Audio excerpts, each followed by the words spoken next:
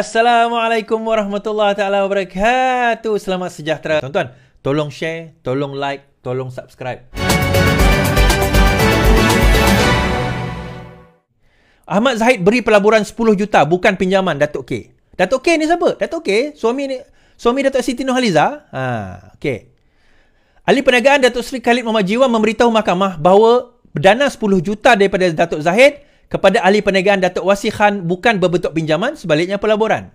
Saksi pembelaan ke-8 yang lebih dikenali sebagai Datuk K berkata, ketika prosiding bela diri kes pecah amanah rasuah dan pengubalan wang haram puluhan juta ringgit, milik Yayasan Akal Budi membabitkan timbalan Perdana Menteri. Menurutnya, sekitar 2015, Wasi Khan atau Wasiu Zama Israr bertemu dengannya dan menyatakan hasrat menubuhkan satu syarikat pembekalan arang batu di Indonesia. Syarikat berkenan memerlukan modal berbayar 10 juta untuk memenuhi syarat minimum TNB. Beliau menyatakan harap hasrat supaya Zahid sampul tangan. Meminta mengurangkan modal kepada 5 juta katanya. Bagaimanapun Khalid berkata Presiden UMNO tidak berbuat demikian kerana campur tangan dalam urusan dan polisi yang telah ditetapkan oleh TNB merupakan satu kesalahan. Khalid berkata pada akhir perbicaraan Ahmad Zahid bersetuju untuk terlibat dengan membantu menyediakan dana sebanyak 10 juta sebagai pelaburan.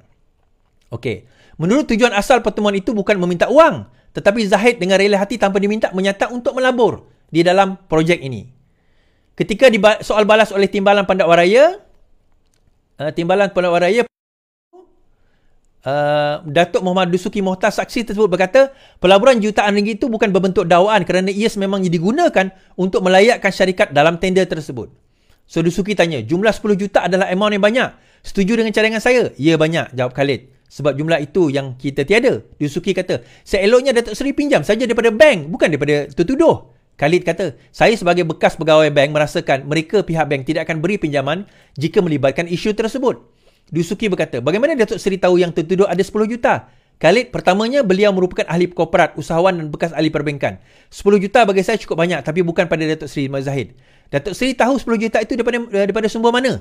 Dia tanya. Khalid jawab, saya tidak tanya. Khalid memberikan keterangan dalam kes itu. Uh, dalam kes ini tuan-tuan, apa yang berlaku? Apa yang berlaku dengan 10 juta tersebut? Uh, apa yang berlaku dengan 10 juta tersebut. Okey. Akhirnya ahli perniagaan Datuk Seri uh, apa Khalid mengatakan jumlah wang 10 juta itu dikembalikan berserta faedah sebanyak RM69,000 RM69,722.65 kepada yayasan itu.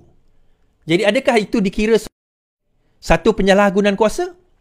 10 juta tu memang keluar sebagai pelaburan dan yayasan tertakluk kepada salah satu tukar yayasan dalam melabur dan duit itu telah dikembalikan. Itu antara lain dia banyak lagi pertuduhan. Itu salah satunya. Jadi macam mana kita nak kata benda itu sebagai salah guna kuasa? Ataupun uh, apa orang kata uh, what do you call that? Um, ya, yeah, criminal breach of trust lah, pecah amanah. Macam mana kita nak kata benda itu sebagai pecah amanah?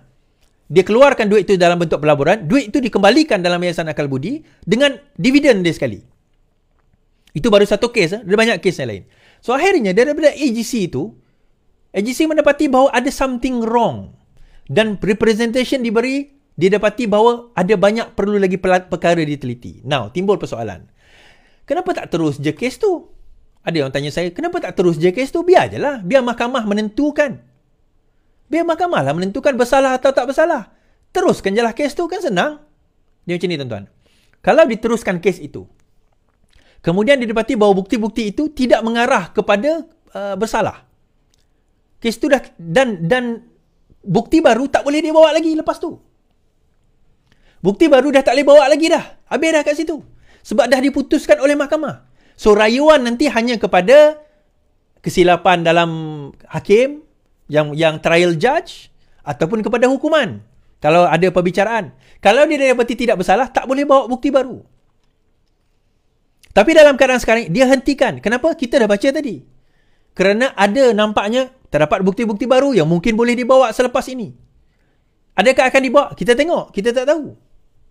Dan saya nampak bahawa selepas UKSB hari itu, kes ini pun adalah satu kes yang bagi saya diadakan dalam keadaan terlalu tergesa-gesa. Dan yang peliknya tuan-tuan, ini nak, nak cerita pelik eh. Tuan-tuan tahu tak siapakah pegawai SPRM pada tahun 2018 yang dilantik oleh Mahathir sejurus selepas beliau mengambil alih alih kuasa. Okay? Oh, ada yang kata Latifah Koya. Latifah Koya dilantik 2019. Latifah Koya dilantik 2019. Saya pun bila saya search tadi baru saya jumpa. Oh, rupanya bukan Latifah Koya. Dia seseorang bernama Syukri Abdul. Okey, kita baca. Syukri Abdul ni angkat sumpah sebagai Pesuruhjaya SPRM pada Jun Julai 2018.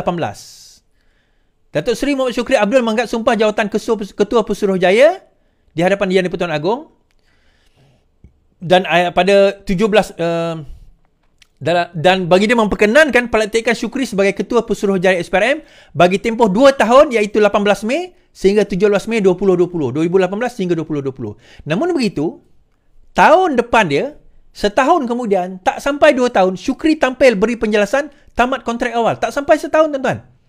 Bekas Suruhanjaya tampil memberi penjelasan, menurutnya pengumuman dibuat selasa lalu dibangkit dengan uh, dengan niat ikhlas, sampai saya mengambil keputusan untuk membendekkan kontrak secara ikhlas. Tetapi banyak komen negatif di media sosial yang memburukkan saya. Kan?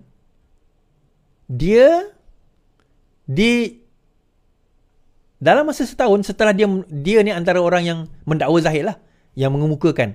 Setahun lepas tu dia letak jawatan. Yalah, dia bersara lah. Dia bukan letak jawatan. Dia bersara. Dia bersara awal.